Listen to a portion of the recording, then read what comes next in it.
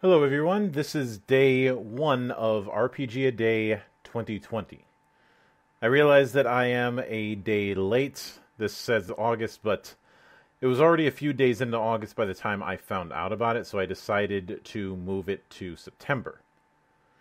With that said, it's once again writing prompts instead of um, full on questions. And we start with beginning. Now, I realize it's a running theme that I open my interviews with the humble beginnings, but for this, I want to talk about the beginning of this channel and the identity of Mildra. Putting aside the fact that Mildra was an alleged warlock name that I was given as a baby, even though when I spoke to actually practicing Wiccans, I realized that a name like that um, doesn't exactly fit. For me, it always came down to this. I had always been frustrated where it, when I would see so many different very interesting games around the corner, but no real attention was given to them. And whenever I'd find um, video reviews of RPGs, for the most part, the focus was D and D, um, World of Darkness, Warhammer, established names.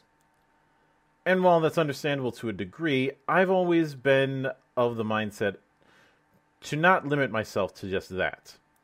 When it comes to video games, I don't limit myself to just playing um, Final Fantasy and nothing else. I don't limit myself to playing um, Call of Duty or play, or playing Company of Heroes and nothing else, and so on and so forth. Why should I do that with games? I don't do that with any other medium. And I had two options at the time. I could either just keep on complaining about it, or I could actually do something about it. And I chose to do something about it. Now, I had had my channel since YouTube was a relatively young thing, but I was always too shy to actually make videos proper. I tried doing the commentary thing for a bit, didn't like how it turned out, so I deleted all those videos, and no, you will never see them. And ultimately, I chose I chose to focus on um, the the lesser known, the hidden gems, diamonds in the rough, as you will.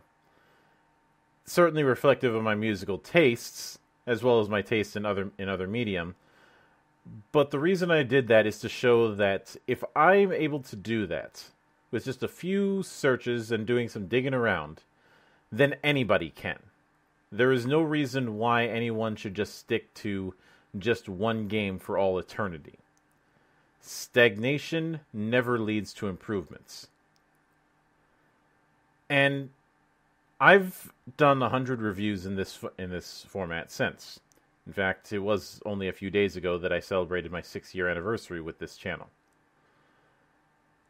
And that's a tradition I intend to continue. Even though I've talked about Dungeons and Dragons and I've talked about other popular games, I don't want that to be the focus of my channel.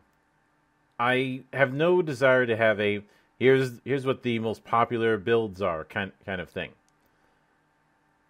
I consider this channel to be a showcase of what's out there. In the in the same way that going to the science museum as a little kid was my glimpse as to, to what's out there in the world. I know that might seem a strange connection, but that's how I end up drawing it.